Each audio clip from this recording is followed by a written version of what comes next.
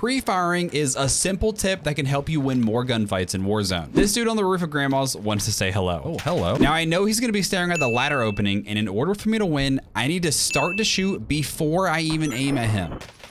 Here I'm getting shot in the back as I shoot Tango number one, so I need to turn and start shooting the Uh, moment the I get the first in. first down. After the second goes down, the minimap shows one more is coming, and if I'm going to win this, I've got to start shooting before I even turn the corner.